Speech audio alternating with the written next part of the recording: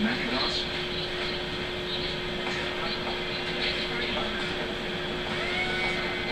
Goss?